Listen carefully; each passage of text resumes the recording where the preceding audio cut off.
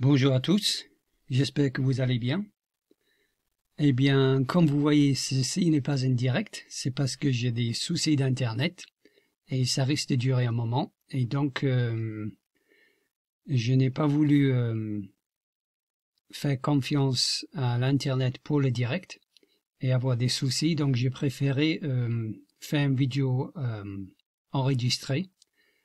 Et j'espère que je vais pouvoir le mettre en ligne à, peu près au moment du direct normalement prévu, samedi soir. Et euh, aussi, euh, je n'ai pas accès à Internet tout de suite pour montrer l'article. Donc, euh, c'est dans des conditions un peu difficiles, mais je voulais honorer quand même le direct de, samedi que j'avais prévu et de continuer ma critique de l'article sur la compréhension de la Bible la théorie critique de la race. Donc je vais le faire, j'espère pouvoir le mettre en ligne à l'heure du direct. Euh, mais euh, malheureusement, je, ne vais pas pouvoir montrer l'article euh, que je vais critiquer. Donc là, vous êtes obligé de me faire confiance. Je vais citer l'article, mais je mettrai le lien de l'article dans la vidéo si vous voulez vérifier ce que je dis. Et je pense, euh, j'ai réfléchi un peu sur les, euh, parce que dans la série euh, de cette, sur ce sujet, il y a quatre articles de Trevin Wax, et j'ai regardé ce que j'ai prévu de faire sur l'article 3 et 4, et en fait, je vais me répéter souvent, et je vois pas trop l'utilité de ça. Donc, ceci sera mon, ma dernière vidéo sur ce sujet de l'interprétation de la Bible euh, sur cet article parce que euh, je vois pas l'utilité de me répéter.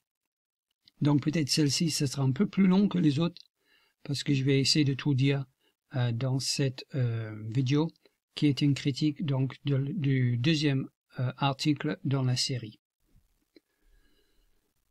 donc cet article s'appelle Comprendre et interpréter la Bible et le sous-titre c'est La précompréhension et la pensée postmoderne, trois principes à ne pas mettre de côté lorsqu'on interprète la Bible. Donc, la précompréhension, qu'est-ce qu'on comprend déjà quand on lit la Bible, et la pensée postmoderne qui dit bien sûr que toute vérité est relative et subjective, trois principes à ne pas mettre à côté lorsqu'on interprète la Bible. Et cet article est divisé en trois parties. La première partie est Nous ne devrions ni minimiser ni exagérer les domaines de distanciation qui affectent notre capacité à comprendre la Bible. Donc on va regarder cette partie-là en premier. Euh, juste un rappel que j'étudie cet article car j'estime que c'est un des pires types d'articles parce que euh, l'approche de l'auteur résume bien en fait l'approche des chrétiens aux États-Unis qui sont sympathisants de la théorie critique de la race, dans la mesure où ils disent être contre la théorie critique de la race, et donc l'intersectionnalité et la théorie de point de vue, ils disent être contre, ils argumentent même contre parfois, mais comme nous allons voir dans cet article, tout en arguant contre, ils acceptent les présupposés et les catégories de la théorie. Donc ils argumentent parfois contre la théorie euh, du point de vue, mais quand ils argumentent contre, ils prennent comme étant vrai les catégories de la théorie et les présuppositions de la théorie. Donc ça c'est très problématique. Et dans ma vidéo précédente, j'ai donné l'article de quelqu'un qui dit qu'il n'est pas évolutionniste, mais quand il argumente, on comprend qu'il euh, qu'il euh, qu'il accepte les bases de la théorie de l'évolution. Donc, nous jugeons sur les œuvres, pas sur les, pas sur les affirmations, n'est-ce pas? C'est Jacques qui nous dit de juger selon les œuvres et non pas selon la profession. La profession est facile, mais les œuvres euh, révèlent vraiment ce qui est dans le cœur.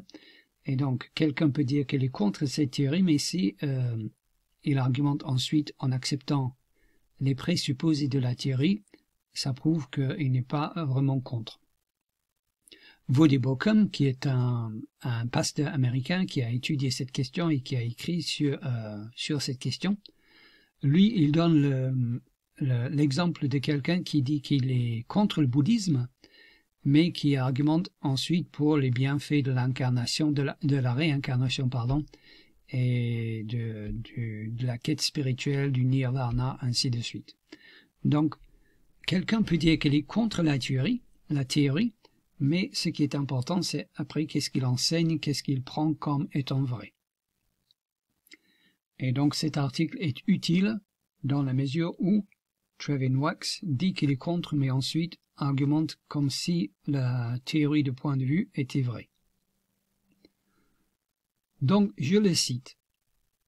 Dans l'article précédent, j'ai mentionné l'enthousiasme croissant des évangéliques pour les théologiens et les commentateurs bibliques issus d'ethnicités diverses et de cultures différentes.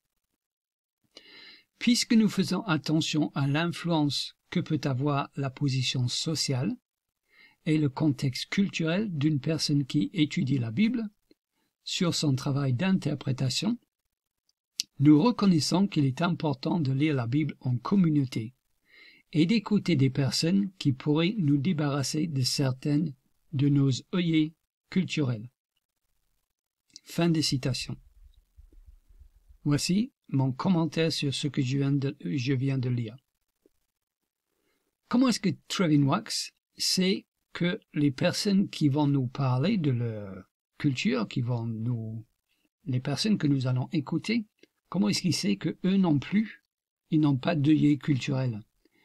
Trevin Wax dit que nous avons des œillets culturels et donc on doit écouter d'autres personnes, mais ces personnes aussi peuvent avoir des œillets culturels, n'est-ce pas? Et ils pourraient très bien nous transmettre leurs œillères, leurs œillères culturels. Mais Trevin Wax ne se pose même pas cette question, parce que ce n'est pas possible, selon euh, la théorie de point de vue, que ces personnes aient des œillères je crois que j'ai dit des œillets, je vais dire des œillères comme des chevaux, des œillets culturels, euh, dans la théorie de point de vue, ce n'est pas possible. Car, selon la théorie de point de vue, nous avons déjà vu que les opprimés, les opprimés voient par définition plus clairement que les oppresseurs, et les oppresseurs, c'est bien sûr nous, les hommes blancs. Donc, ce n'est que les hommes blancs qui ont des œillères culturelles. C'est pour ça qu'on doit écouter les autres, mais euh, moi j'aimerais bien savoir comment il sait, puisque c'est un homme blanc, que ces personnes n'ont pas d'œillères culturelles. Il dit aussi, j'ai lu, puisque nous faisons attention à l'influence que peut avoir la position sociale et le contexte culturel d'une personne qui étudie la Bible sur son travail d'interprétation, donc cette, phrase-là, c'est une phrase qui, sort tout, juste de la théorie de point de vue. Est-ce que vraiment ça vous arrive quand quelqu'un vous enseigne la Bible, que ce soit oralement ou par écrit, ou lisez un livre?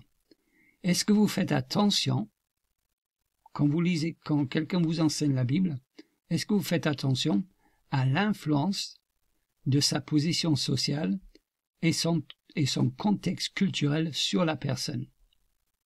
Est-ce que c'est ça qui, qui vous préoccupe quand vous lisez ou quand vous écoutez quelqu'un qui vous enseigne la Bible? Non.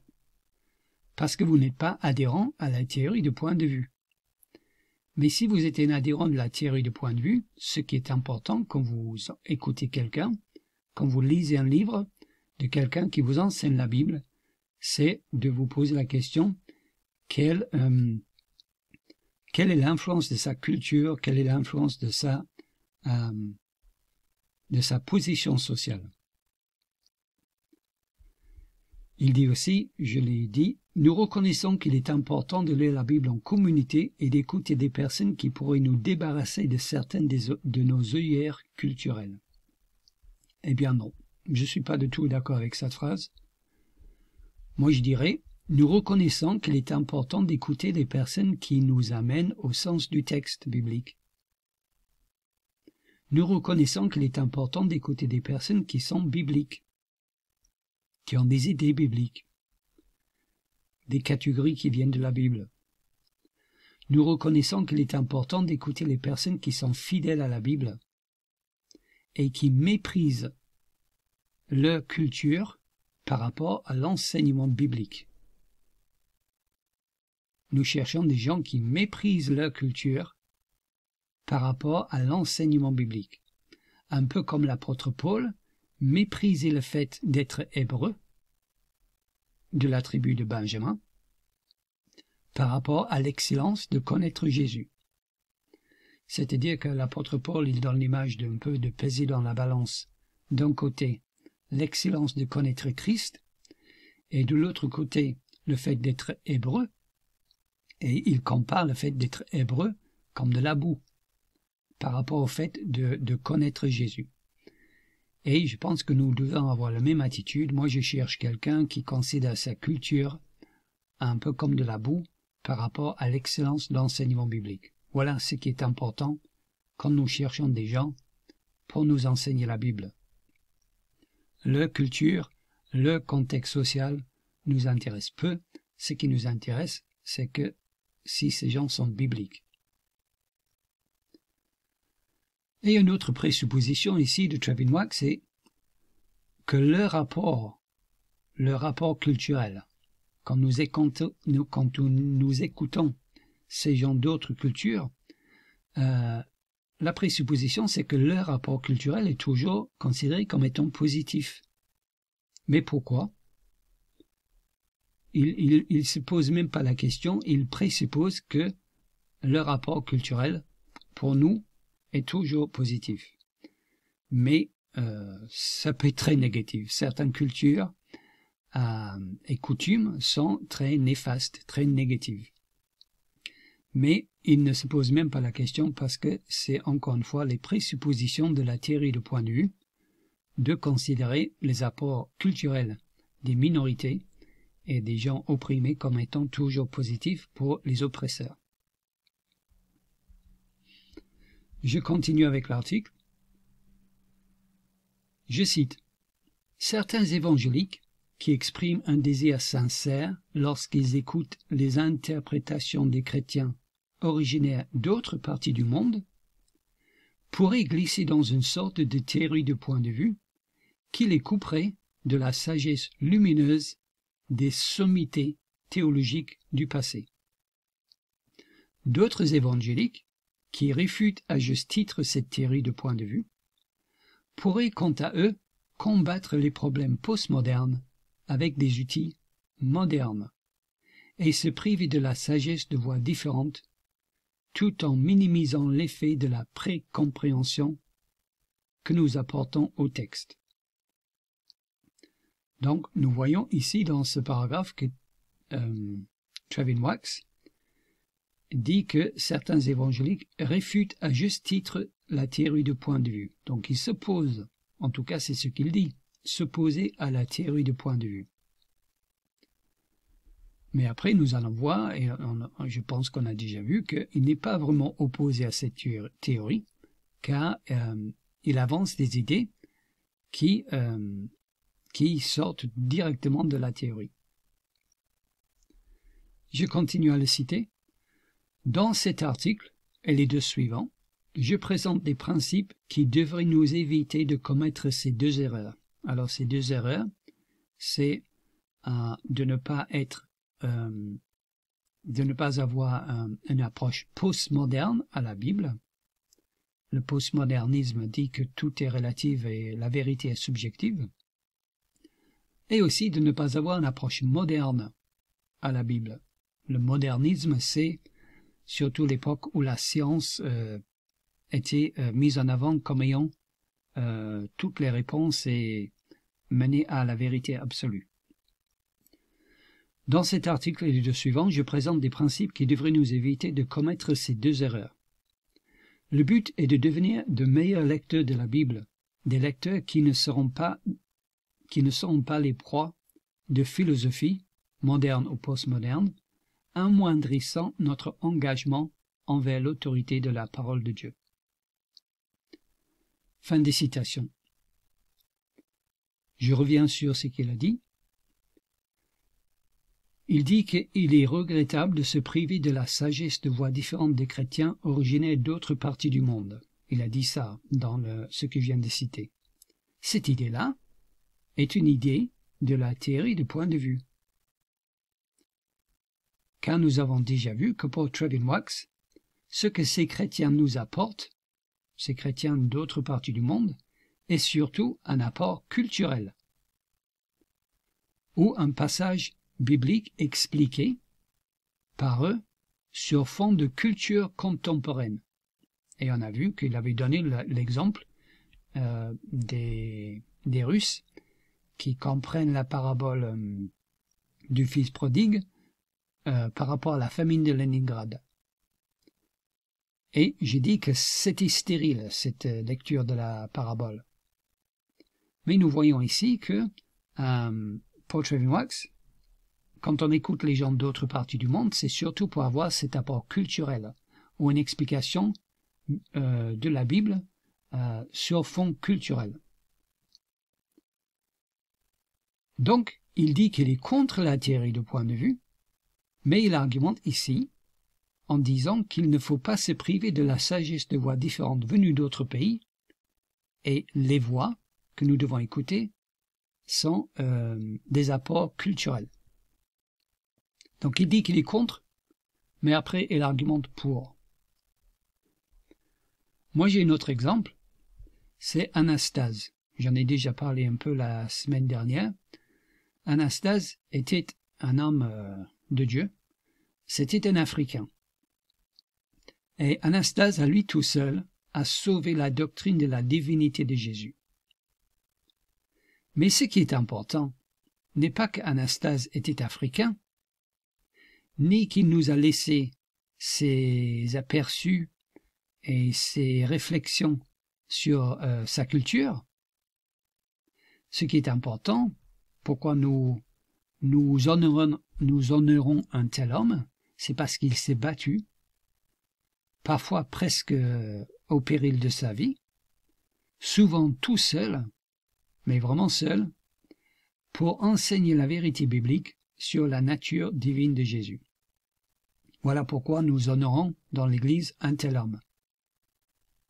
Pour cet apport biblique-là, moi j'ai dit Amen.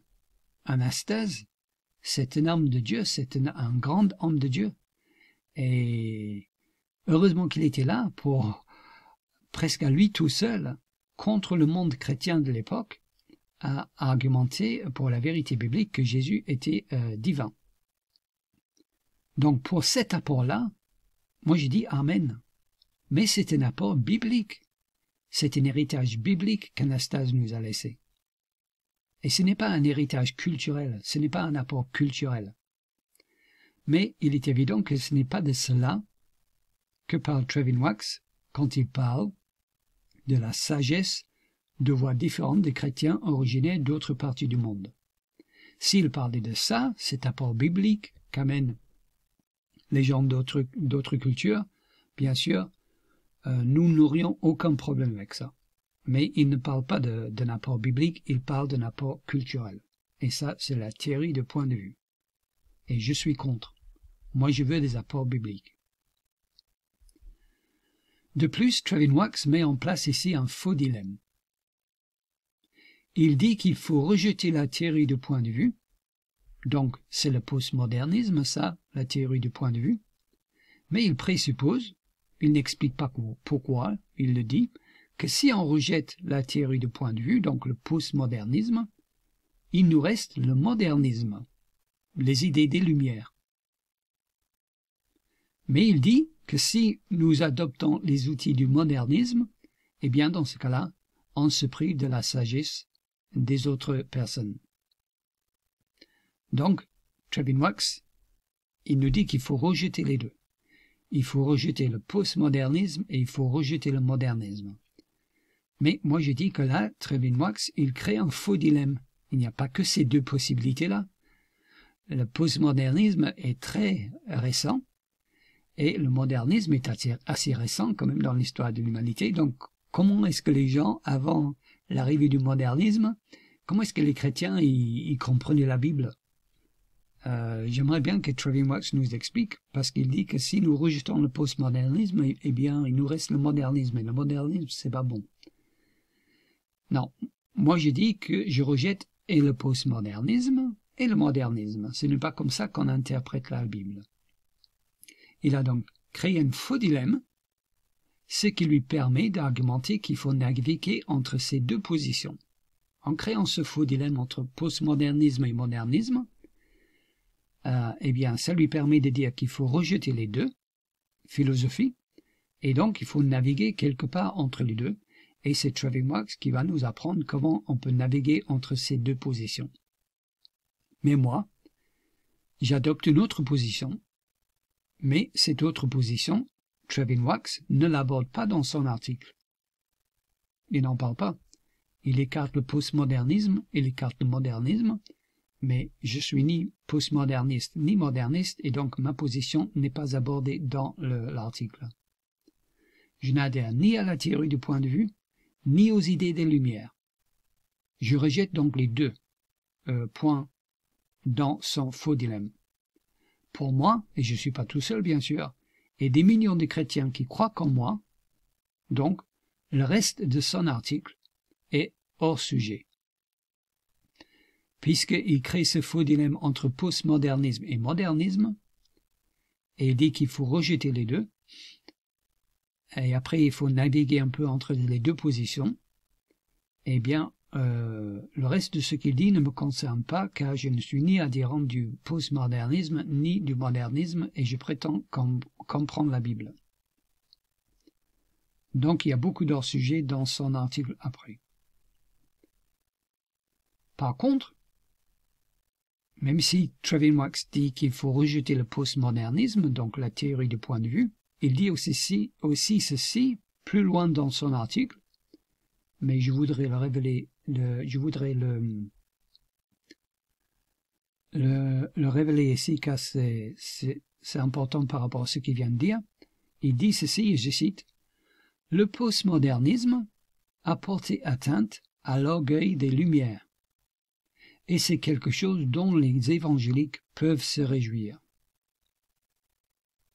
le postmodernisme a porté atteinte à l'orgueil des Lumières, et c'est quelque chose dont les évangéliques peuvent se réjouir. Eh bien non, je suis désolé, une erreur, le postmodernisme, qui remplace une autre erreur, le modernisme, n'est pas une cause de joie pour les chrétiens. Donc euh, on voit quand même que même si Trevin Wax n'est pas postmoderniste et argumente contre le postmodernisme, il préfère clairement le postmodernisme au modernisme, et il dit même que l'arrivée du postmodernisme peut être un sujet de joie, pour les chrétiens. Eh bien non, je ne suis pas d'accord. Un chrétien ne doit pas se réjouir quand il y a une telle erreur anti-biblique qui, euh, qui devient euh, les idées prédominantes dans une culture. Je continue donc dans son article. Et j'arrive donc au premier point. Nous ne devrions ni minimiser, ni exagérer les domaines des distanciations qui affectent notre capacité à comprendre la Bible. Donc dans ce point-là, Kevin Trevin Wax va, euh, va argumenter que quand nous arrivons à lire la Bible, nous, nous apportons, nous amenons à, la Bible nos idées préreçues. Euh, donc je pense qu'ici, euh, il, veut détruire le modernisme, je pense que c'est un peu son idée, de détruire euh, les vérités absolues du modernisme, euh, et donc de d'obliger le chrétien à se poser des tas de questions quand il lit la Bible. Donc, je cite l'ouvrage de Grant Osborne intitulé The Hermeneutical Spiral, la spirale herméneutique, un manuel de référence pour les évangéliques quant à l'interprétation de la Bible, relève quatre domaines de distanciation qui peuvent mettre en question notre capacité à comprendre la parole de Dieu de la bonne manière.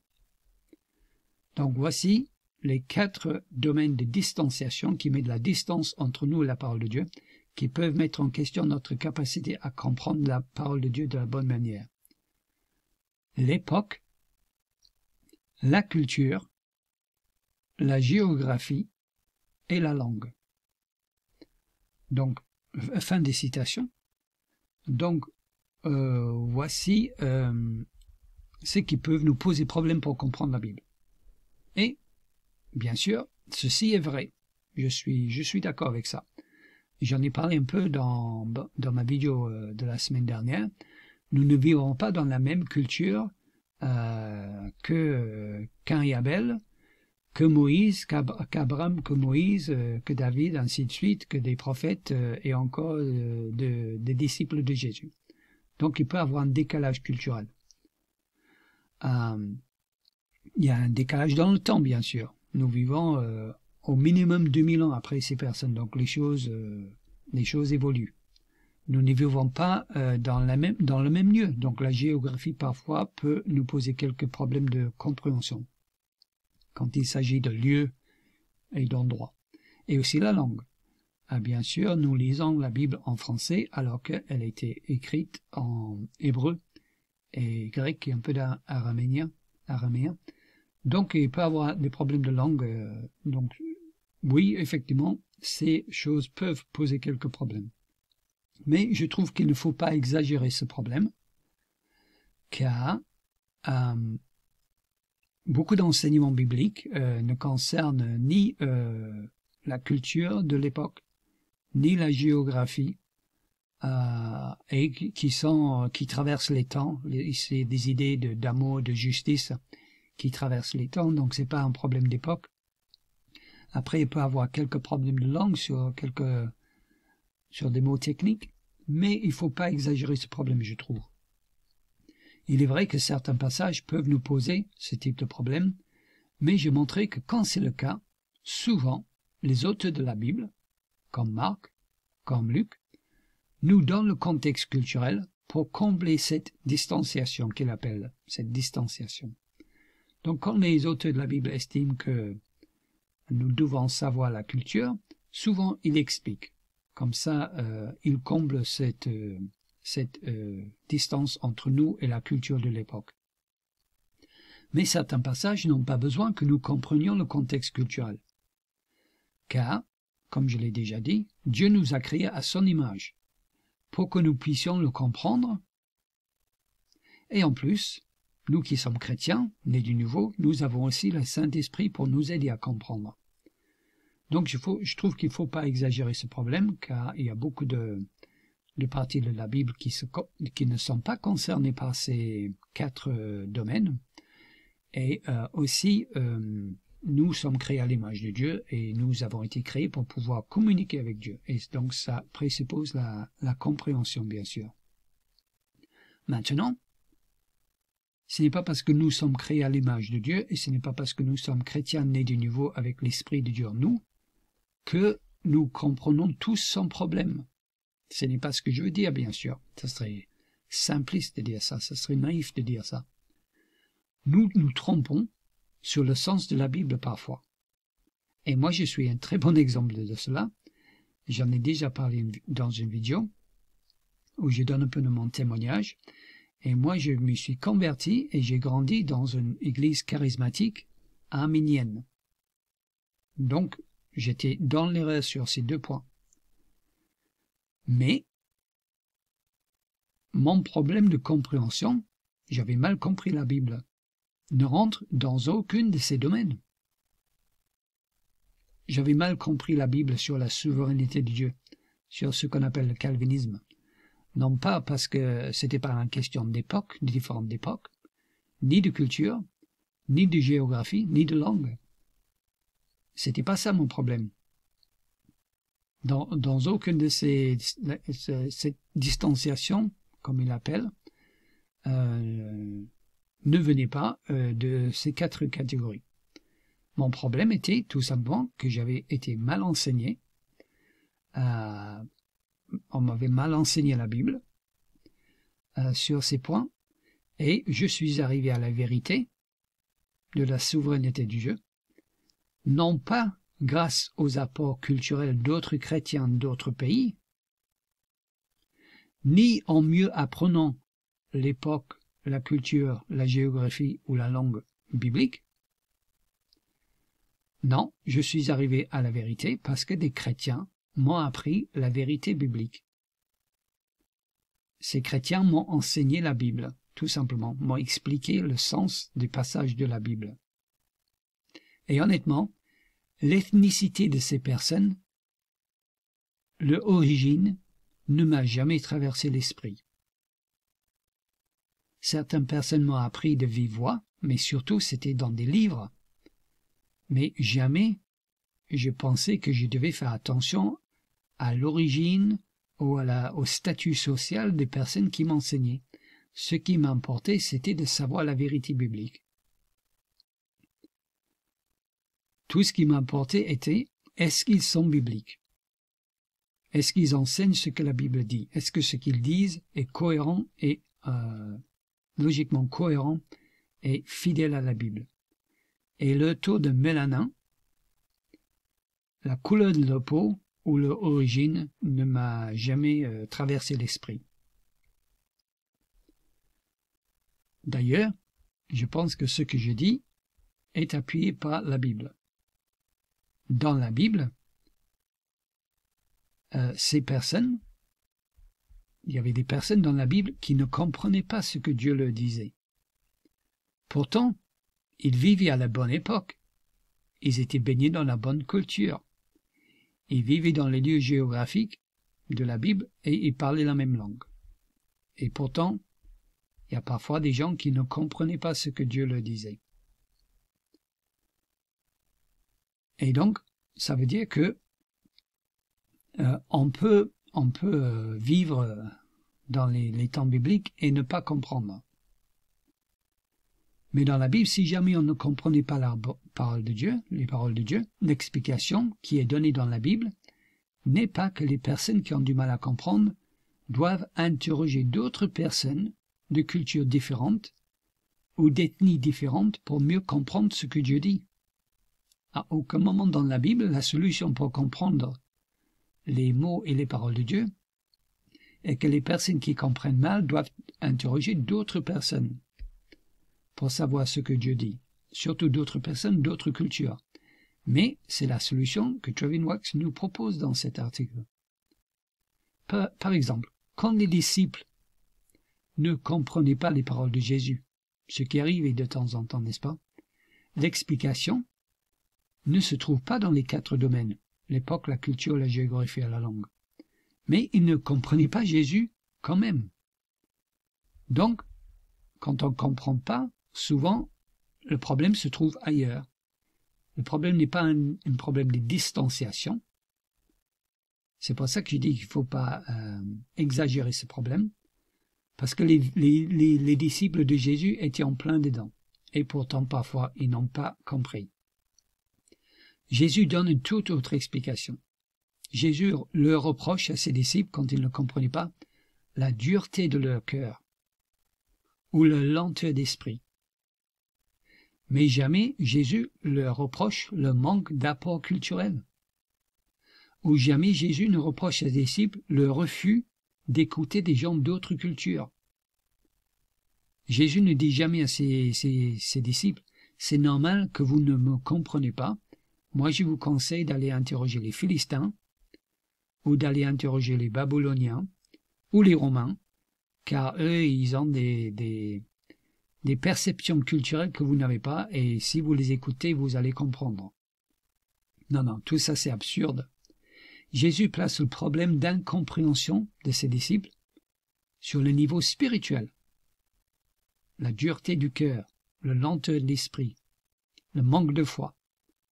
Et donc, dans le domaine du péché, avoir manque de foi, avoir un cœur dur, être lent d'esprit à comprendre ce que Dieu dit, c'est un problème de péché, n'est-ce pas?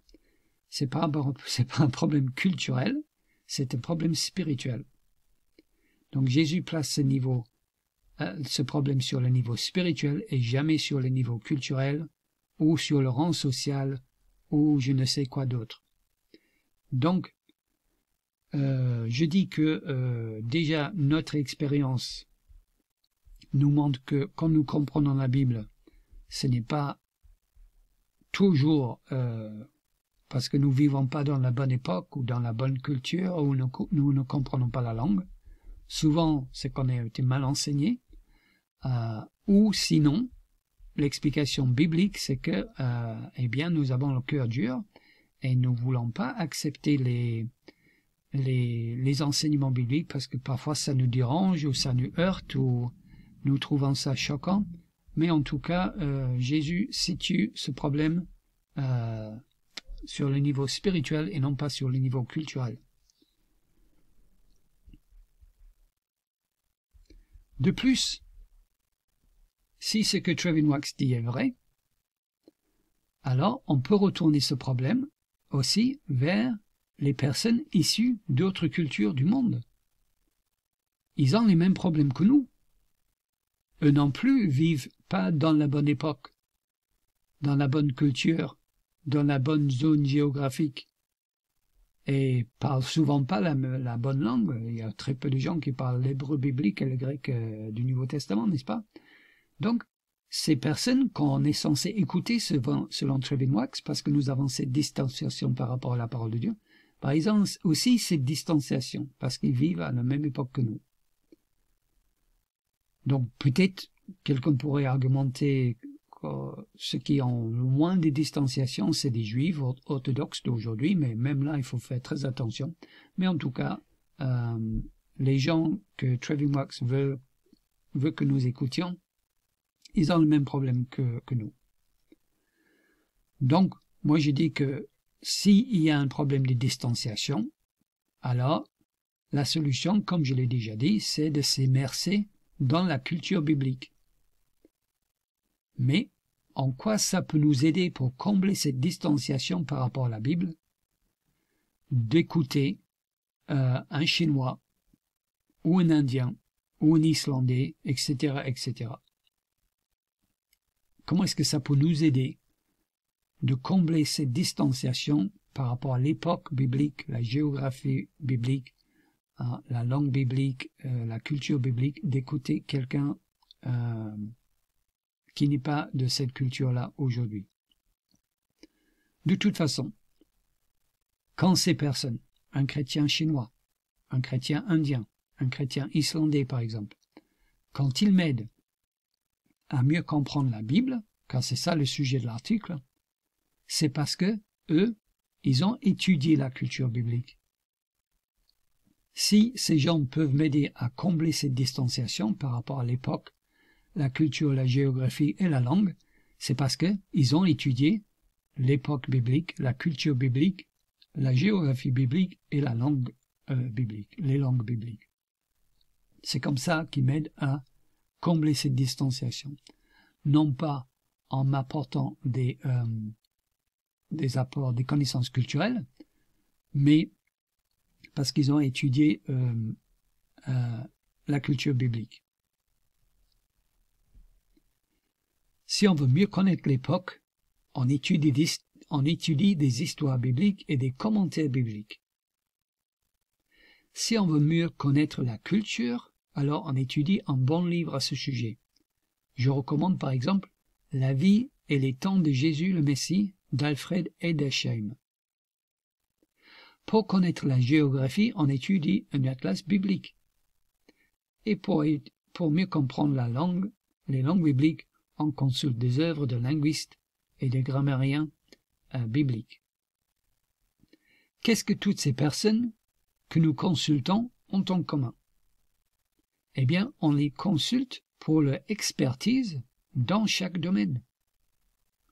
On ne les consulte pas à cause de la couleur de leur peau ou à cause de leur origine. On se moque de la couleur de leur peau ou de leur origine. Ce qui nous intéresse est leur expertise dans le domaine de recherche. Donc cet exemple réfute l'idée qu'il faut rechercher la diversité dans nos consultations, car le critère de consultation n'est en aucun cas la couleur de peau, mais l'expertise de chacun. Donc, même si ce que Trevin Wax dit est vrai ici, eh bien, pour, combler cette euh, distanciation, et si nous devons nous tourner vers des gens, eh bien, c'est vers des spécialistes dans ces quatre domaines. Et dans ce cas-là, leur origine et la couleur de la peau n'a aucune importance et de toute façon, c'est pas pour ça qu'on les consulte. On les consulte pour leur expertise justement dans ces quatre domaines.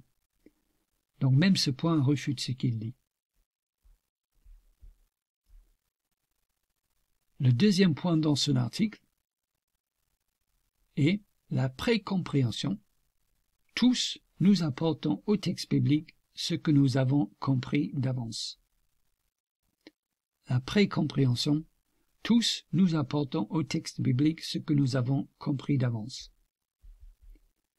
Et là, je vais citer l'article. Grant Osborne nous encourage à considérer l'effet du patrimoine culturel et de la vision du monde sur l'interprétation.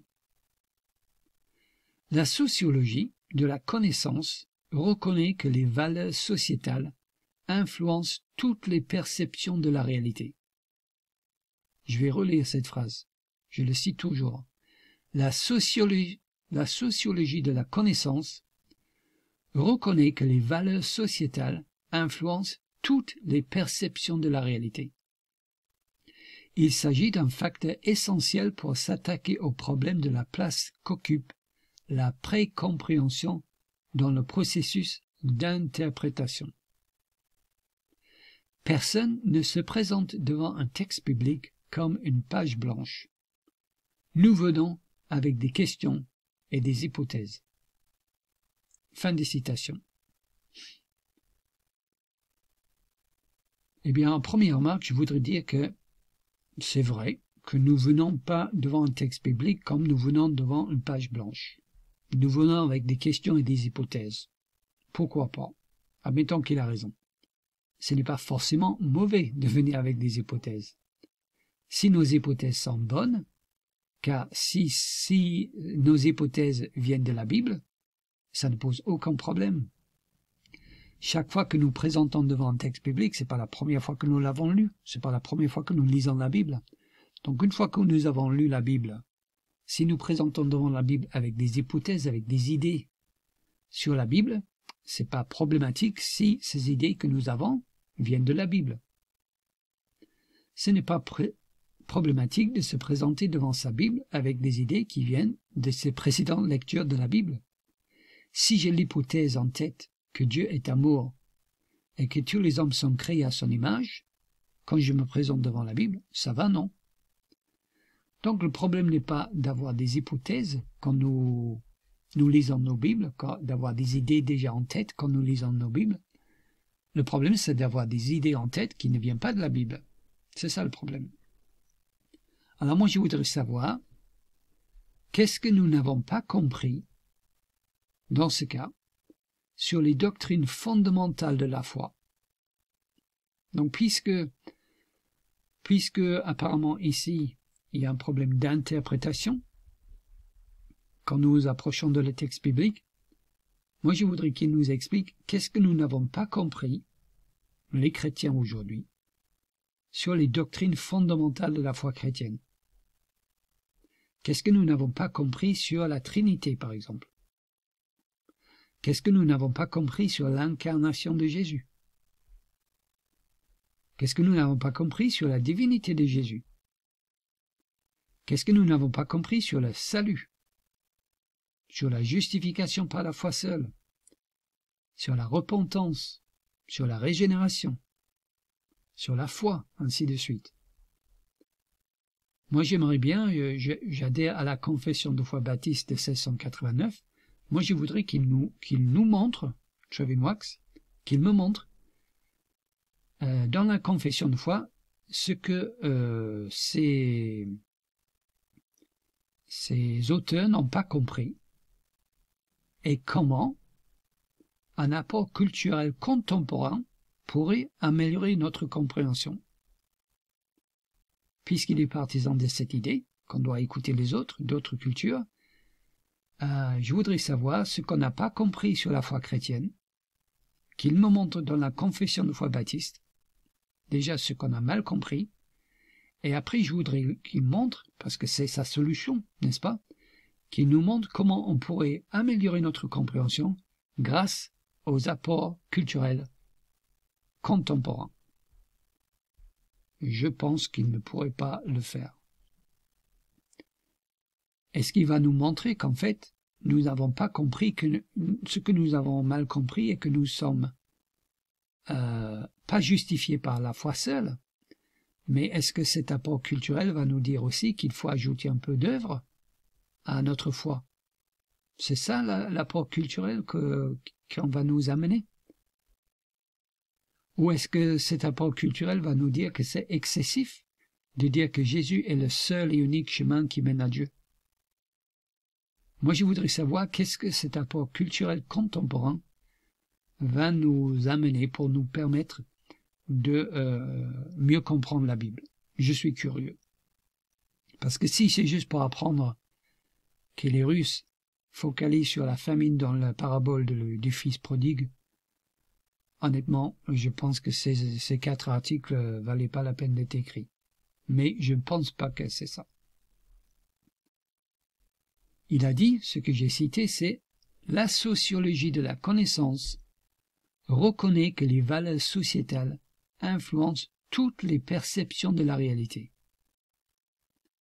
Vous vous rendez compte de l'énormité de cette phrase-là? La sociologie de la, connaissance reconnaît que les valeurs sociétales influencent toutes les perceptions de la réalité. Donc selon cette philosophie, toutes mes perceptions de la réalité sont influencées par mes valeurs sociétales. Si c'est pas ça le postmodernisme, je sais pas ce que c'est. Parce que c'est les études sociologiques qui nous guident dans notre étude de la Bible. C'est une philosophie, ça. Je croyais que euh, Trevin Wax était contre les philosophies postmodernes et modernes, mais ça, c'est clairement une philosophie, hein. sociologie de la connaissance. Ou est-ce que cette, philosophie, ça va? Parce qu'elle va dans son sens je me pose la question et je voudrais savoir si ces études sociologiques ont intégré l'idée que nous sommes tous créés à l'image de Dieu et que nous avons le Saint-Esprit. Je ne le pense pas. Si c'est vrai que la sociologie de la connaissance reconnaît que les valeurs sociétales influencent toutes les perceptions de la réalité, alors nos valeurs influencent aussi notre lecture de chaque verset de la Bible et donc nous ne pouvons rien savoir de façon objective. Si cette sociologie influence toutes les perceptions de la réalité, alors quand nous lisons la Bible, selon cette idée, nous ne pouvons rien savoir de façon objective, nous pouvons toujours avoir le doute que ce que nous pensons savoir est influencé par nos valeurs sociétales.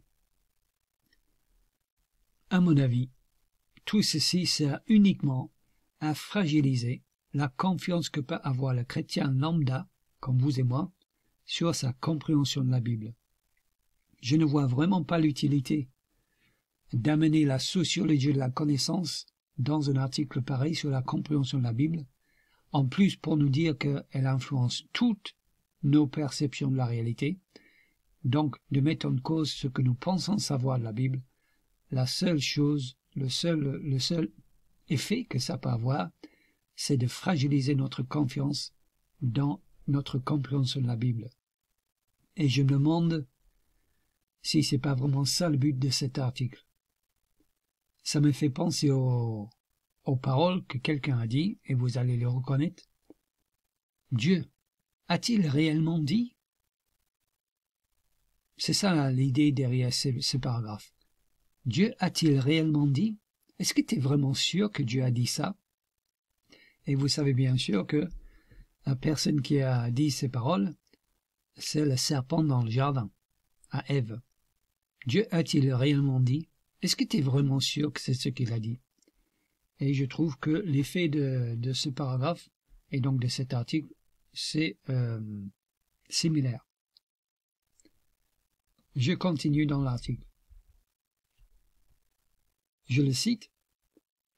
À titre d'exemple, pour en revenir à la parabole du fils prodigue, Nous savons que les Russes sont plus susceptibles que les Américains de se souvenir de la famine lorsqu'ils racontent cette histoire.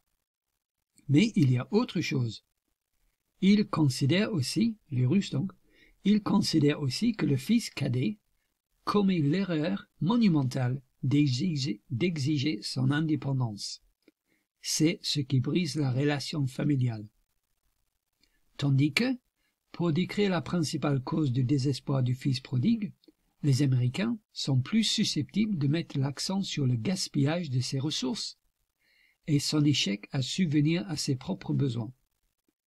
Des cultures différentes mettent un éclairage différent sur l'histoire, en partie à cause de la précompréhension que nous avons du texte. Fin de citation. Et là encore, je dis, tout ça, ça me paraît tellement stérile. Ce sont encore des détails insignifiants par rapport au vrai message de la parabole. Ces considérations n'apportent rien au sens de la parabole, mais ont plutôt euh, l'effet de détourner notre regard du vrai sens de la parabole. Encore une fois, l'exemple qu'il nous donne est stérile, voire contre-productif. L'erreur du fils cadet n'est pas d'avoir brisé la relation familiale.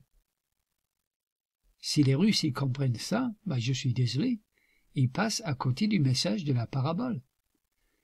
L'erreur du fils cadet n'est pas d'avoir brisé la relation familiale, mais d'avoir tourné le dos à Dieu. Car cette histoire est une parabole. C'est une parabole que Jésus raconte. Si on croit que le message est sur la relation entre le Père et son Fils, on n'a pas compris que cette histoire est une parabole de Jésus, et donc son message concerne le salut. Le message de la parabole n'est pas sur les relations familiales, mais sur la compassion de notre Père céleste envers nous, les enfants rebelles. Les deux exemples qu'il nous donne qu'il nous a fournis, pardon, sur les avantages d'écouter des voix d'autres cultures pour mieux comprendre la Bible prouvent le contraire. Leur apport culturel dans ces deux cas savait être des considérations stériles qui détournent notre regard du vrai message du texte. Moi je suis pour écouter d'autres personnes, peu importe d'où elles viennent, pour, pour que ces personnes m'enseignent la Bible. Je suis d'accord pour écouter d'autres personnes à condition qu'ils m'enseignent la Bible. Peu importe d'où ils viennent et à quoi ils ressemblent, tant qu'ils sont bibliques. Je continue, je cite, La Bible n'est pas sans culture. La Bible n'est pas sans culture. Les lecteurs de la Bible non plus ne sont pas sans culture. David Clark, dans sa magistrale méthode de théologie intitulée To Know and Love God, connaître et aimer Dieu, rappelle aux évangéliques ceci, et il cite David Clark. Notre pensée reflète notre culture. Il nous arrive parfois d'agir trop rapidement, comme si notre théologie était exempte d'éléments culturels, même si, lorsqu'on nous pousse un peu, nous admettons que ce n'est pas vrai. Fin de David Clark et fin de Trevin. Si ceci est vrai, alors l'argumentation vaut aussi pour celui qui croit nous emporter quelque chose de sa culture. Encore une fois, on peut retourner l'argumentation de Trevin Wax contre les gens qui veulent mettre en avant.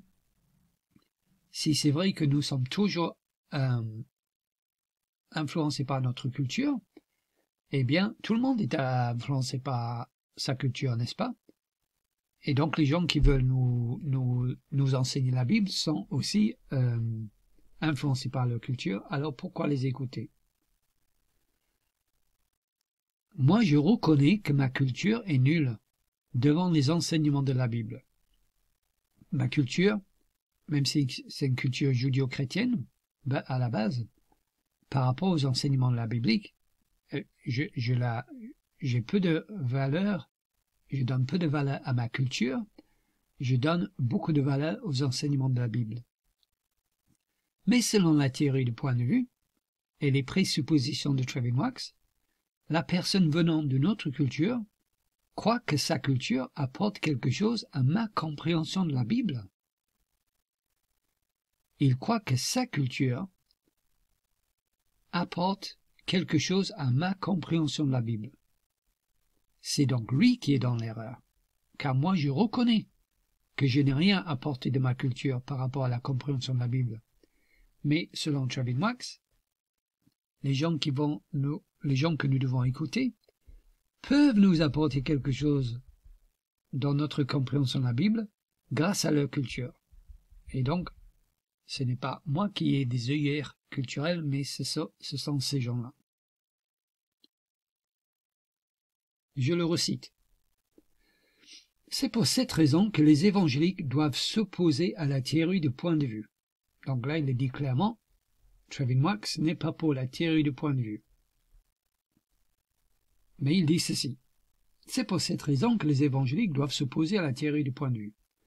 Ce n'est pas parce que nous voulons nous réfugier dans une forteresse des Lumières, où les certitudes sont absolues, mais parce que nous croyons ceci.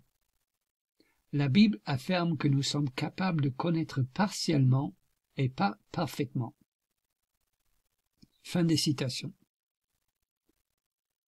Et je voudrais relire la phrase là. Ce n'est pas parce que nous voulons nous réfugier dans une forteresse des Lumières où les certitudes sont absolues. Moi, je voudrais dire, les certitudes absolues viennent-elles uniquement du modernisme et des Lumières? Est-ce que Trevin sous-entend ici que si nous avons des certitudes absolues, alors nous sommes des modernistes, des partisans des Lumières Peut-on avoir des certitudes absolues sans suivre Descartes et Kant? Moi, il me semble que oui. Les chrétiens qui existaient avant les Lumières est-il donc sans certitude absolue? Je ne crois pas non. Certains sont morts pour leur foi. Ils devaient être certains de quelque chose, non? Est-ce que c'est une certitude absolue que toutes les certitudes absolues viennent de la philosophie moderne? Est-ce que c'est une certitude absolue, pour Trevin Wax, que toutes les certitudes absolues viennent de la philosophie moderne? Si oui, si Trevin Wax en est certain, alors il est moderniste. Il s'est réfugié dans une forteresse des Lumières où les certitudes sont absolues. Mais puisqu'il est contre le modernisme, son article ne vaut rien selon ses propres critères. Non, soyons sérieux, tout ceci n'est pas sérieux du tout. Nous pouvons bien sûr avoir des certitudes absolues, non pas parce que nous sommes des modernistes, non pas parce que nous suivons Descartes ou Kant, mais parce que nous sommes des chrétiens qui suivons la Bible. Dieu veut que nous ayons des certitudes absolues. Dans 1 Jean 2.13, nous lisons Je vous écris, Père, parce que vous avez connu celui qui est dès le commencement. Je vous écris, jeune Jean, parce que vous avez vaincu le malin. Je vous ai écrit, petits enfants, parce que vous avez connu le Père.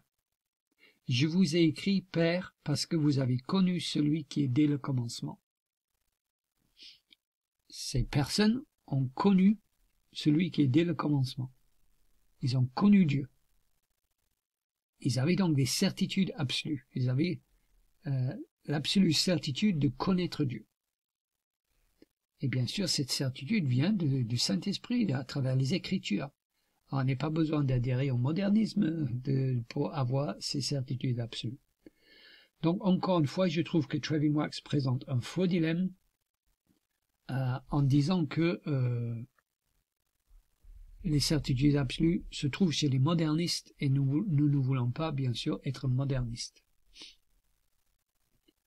Et encore une fois, j'ai l'impression que tout ceci sert uniquement à fragiliser la confiance que peut avoir le chrétien lambda sur ses certitudes bibliques. Il argumente ici que nous devons être incertains. Il argumente ici contre les certitudes absolues. Mais attention, pas sur un verset de la Bible, ou pas sur un passage ou sur une doctrine, mais sur toute la Bible, sur tous les versets, sur tous les passages et sur toutes les doctrines. Car si nous sommes certains de certaines vérités bibliques, alors, selon Trevor Marx, nous sommes des modernistes, et il ne faut surtout pas être moderniste.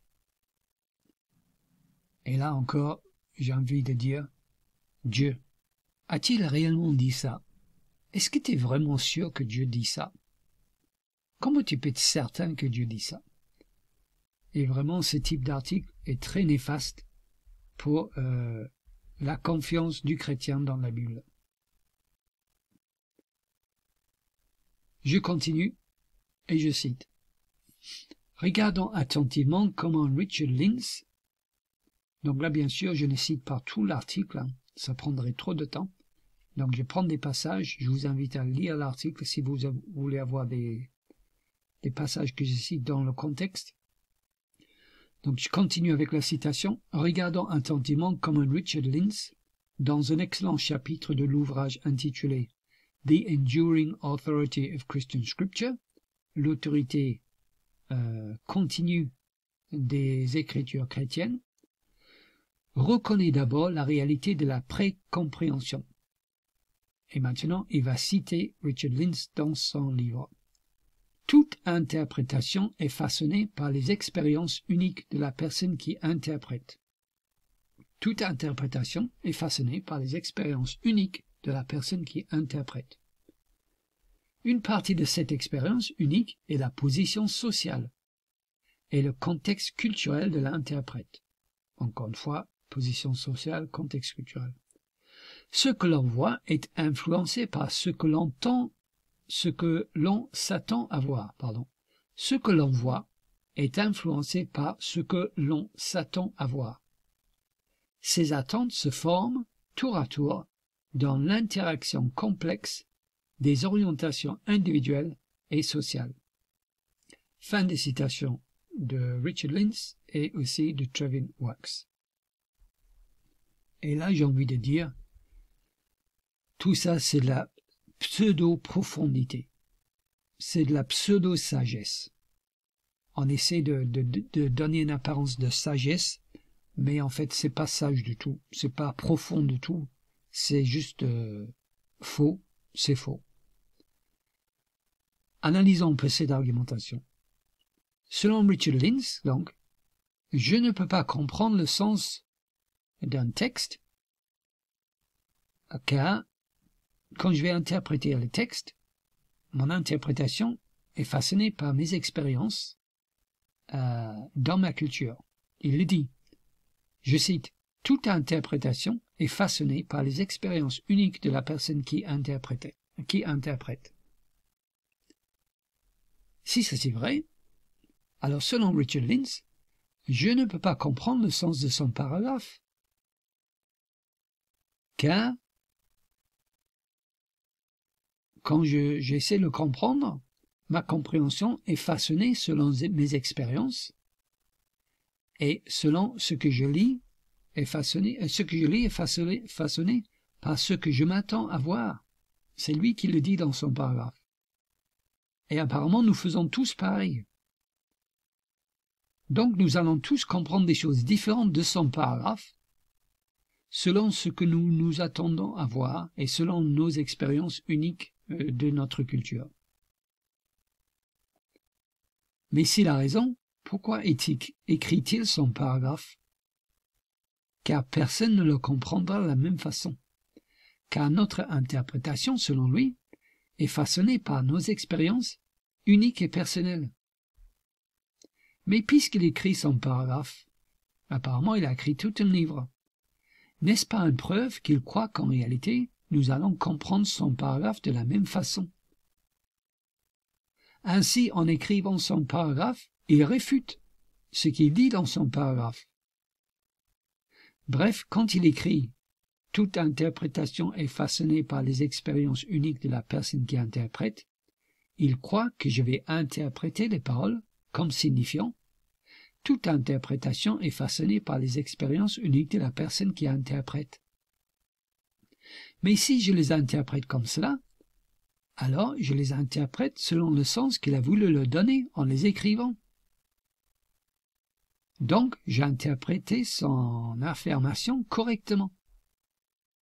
Donc mon interprétation de son affirmation n'est pas façonnée par mes expériences uniques et personnelles car j'ai compris ce qu'il a voulu dire. J'ai compris que quand, il a écrit, écrit toute interprétation est façonnée par les expériences uniques de la personne qui interprète, j'ai compris qu'il a voulu dire que toute interprétation est façonnée par les expériences uniques de la personne qui interprète. Mais si c'est ça le sens de ce qu'il a voulu dire, alors j'ai interprété correctement ces, ces paroles. Sauf que lui, il dit que toute interprétation est façonné par les expériences uniques de la personne. Et donc si j'ai compris ce qu'il a voulu dire, j'ai refuté ce qu'il a voulu dire. Encore une fois, tout ceci, c'est la pseudo-sagesse, c'est la pseudo-profondité. Encore une fois, soyons sérieux. Revenons à la Bible. Si je peux comprendre l'affirmation toute interprétation est façonnée par la personne, si je peux comprendre cette affirmation-là, et puisqu'il a écrit dans un livre, il pense que je vais pouvoir le comprendre, sinon il n'aurait pas compris, il n'aurait pas écrit son livre.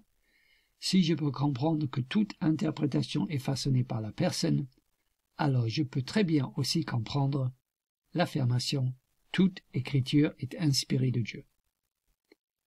Si je peux comprendre son affirmation, je peux comprendre l'affirmation biblique. Richard Lynn se refute tout seul. Et l'idée ici de Richard Lynch est une idée postmoderne. C'est une idée postmoderne que nous n'avons pas vraiment accès à la vérité, car euh, notre interprétation est euh, façonnée par notre expérience unique. Ça, c'est du postmodernisme. Donc même si Travis Wax dit qu'il faut rejeter le postmodernisme, on voit qu'il avance des idées postmodernistes. Encore une fois, on, entend la voix du serpent qui dit Es-tu sûr d'avoir bien compris ce que Dieu t'a dit? Es-tu vraiment sûr que quand tu lis la Bible, tu comprends vraiment ce que Dieu a voulu dire? Comment tu peux ne pas être sûr que tu n'es pas influencé par ta culture? C'est vraiment la voix du serpent dans le jardin, et je ne vois pas d'autre effet et autre conséquence que de miner euh, la confiance euh, que peut avoir le chrétien euh, dans la Bible. Et c'est pour ça que je voulais euh, critiquer cet article car elle est néfaste et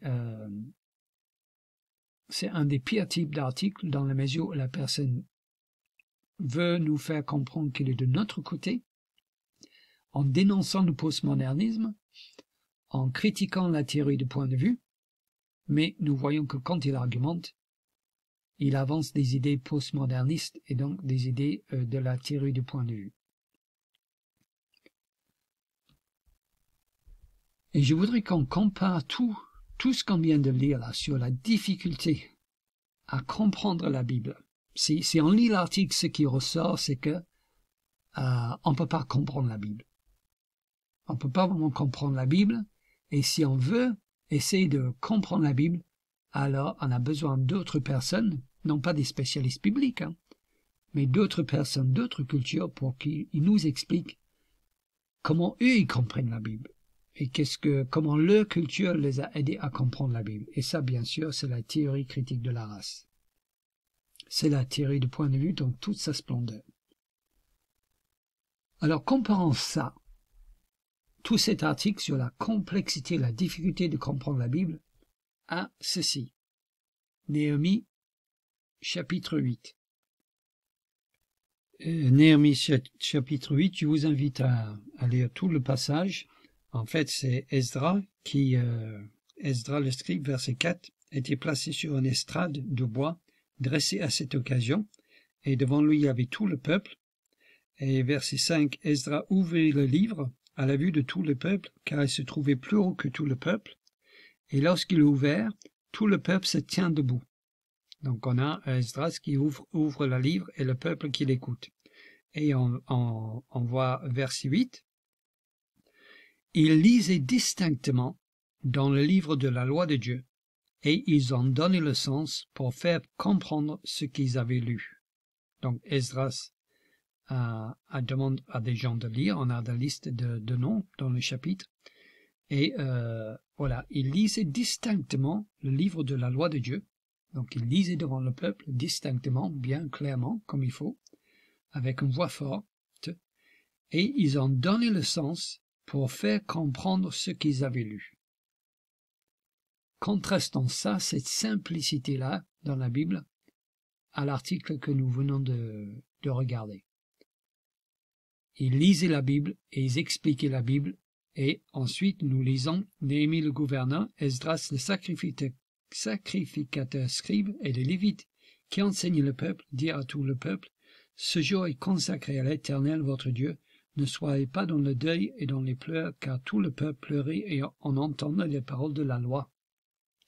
Donc, euh, ils lisaient la Bible, ils expliquaient la Bible, et le peuple ont compris les paroles de la Bible car ils étaient en larmes, ils étaient attristés par ce qu'ils entendaient. Donc voilà, c'est, dans la Bible, c'est simple. Quelqu'un lit la Bible, quelqu'un explique les paroles de la Bible, et le, le peuple de Dieu comprend, comprennent, le peuple comprend euh, les paroles de la Bible. Contrastons ça à ce que nous venons de lire dans cet article.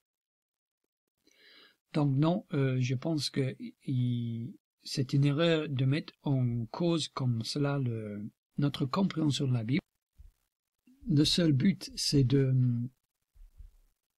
c'est de miner, c'est de fragiliser euh, la confiance que peut avoir un chrétien euh, sur la parole de Dieu et surtout quand les solutions sont proposées sont l'apport culturel et les études sociologiques. C'est vraiment, euh, ce n'est pas bien dans un, article chrétien d'attaquer no, notre compréhension de la Bible et notre, nos certitudes bibliques dans cette, de cette façon-là. Et donc pour finir, je voudrais euh, montrer que euh, la théorie de point de vue est totalement incompatible avec avec la Bible. Et d'ailleurs euh, la distanciation, cette idée de distanciation aussi accessoirement, parce que nous lisons dans Éphésiens 5 et Éphésiens 6 que l'apôtre Paul, donc l'apôtre Paul, un homme, euh, qui vivait dans une société antique, une société donc construite euh, par les hommes, pour les hommes, n'est-ce pas? Les femmes avaient peu de place et peu de considération dans, ces sociétés antiques. Les enfants aussi avaient peu de place et peu de considération, et les esclaves encore moins dans, dans la société romaine et grecque. Selon cette théorie, la théorie du point de vue, l'apôtre Paul ne pouvait pas comprendre ce que c'est de vivre comme une femme dans cette société, car l'apôtre Paul n'était pas une femme. Sauf que, dans Éphésiens 5 et 6, Paul donne des instructions aux femmes, mais sans être une femme. Comment peut-il comprendre la situation des femmes et comment lui, un homme, peut-il donner des instructions à une femme? Comment un homme peut dire à une femme ce qu'elle doit faire et ce qu'elle ne doit pas faire? Selon la théorie du point de vue, c'est impossible. Et je pense que pour Trevin Wax, ça poserait quelques problèmes d'après ce qu'il dit dans l'article. Sauf que l'apôtre Paul le fait. Cet homme donne des instructions aux femmes. Et Paul ne s'arrête pas là non plus. Il donne aussi des instructions aux enfants. Sauf que quand l'apôtre Paul donne des instructions aux enfants, il n'était pas un enfant, c'était un homme. Et en plus, l'apôtre Paul donne des instructions aux esclaves alors que l'apôtre Paul n'a jamais été esclave et ne peut pas comprendre la situation d'un esclave, sauf qu'il donne des instructions aux femmes. Et j'ajouterai accessoirement aussi que dans Timothée, en Timothée 5, l'apôtre Paul donne aussi des instructions aux veuves, alors que bien sûr l'apôtre Paul n'a jamais été veuve. Bref, l'apôtre Paul ne croit pas du tout à la théorie du point de vue. S'il croyait à la théorie du point de vue, il ne, pourrait pas donner des instructions à des femmes et des enfants et des esclaves. Mais puisque l'apôtre Paul écrit sous l'inspiration du Saint-Esprit, l'apôtre Paul détruit la théorie du point de vue, puisque c'est Dieu qui l'inspire. Donc Dieu non plus, on pourrait dire, Dieu non plus ne croit pas à la théorie du point de vue, car il, donne à l'apôtre Paul le, la mission euh, de, donner des, instructions à des gens euh, qui, ont, des expériences que l'apôtre Paul ne, ne pourrait jamais connaître. Plus généralement, puisque nous sommes censés transmettre les instructions bibliques, n'est-ce pas, puisque nous sommes censés enseigner la Bible aux femmes, aux enfants, aux veuves, euh, ainsi de suite, nous pouvons dire que l'exemple de l'apôtre Paul nous montre ici que pour Dieu, il est nécessaire de donner des instructions et des commandements bibliques à des gens sans avoir vécu leur vie, sans connaître leur expérience. Donc, puisque l'apôtre Paul le fait, et nous sommes censés enseigner toute la Bible, eh bien nous avons le droit, bibliquement, de la part de Dieu, de donner des instructions à des gens en enseignant la Bible, euh, sans jamais avoir connu l'expérience de ces personnes-là. Autrement dit, un pasteur peut donner des instructions à une femme ou à une, une veuve, parce que euh, c'est écrit dans la Bible.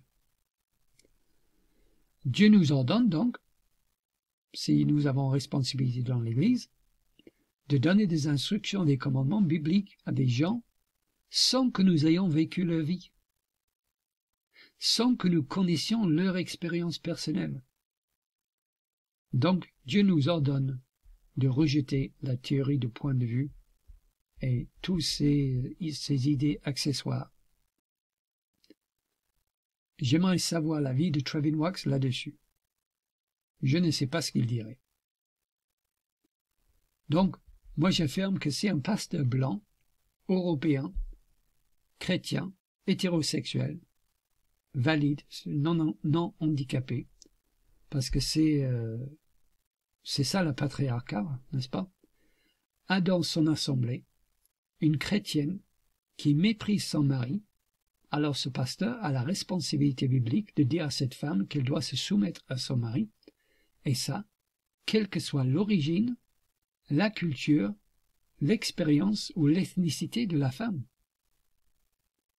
J'affirme aussi que si un pasteur blanc, européen, chrétien, hétérosexuel, valide, a dans son assemblée un enfant chrétien qui ne respecte pas ses parents, alors ce pasteur a la responsabilité biblique de dire à cet enfant qu'il doit obéir à ses parents, et ça, quelle que soit l'origine, la culture, l'ethnicité de l'enfant ou des parents.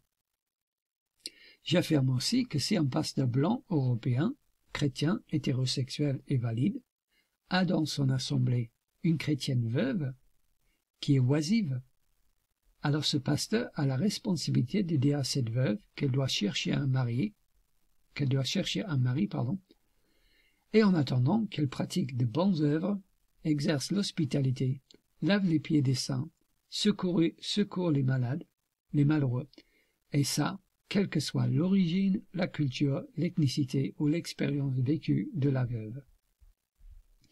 Et j'affirme pour finir que c'est un pasteur blanc européen chrétien hétérosexuel et valide a dans son assemblée un mari qui n'aime pas sa femme.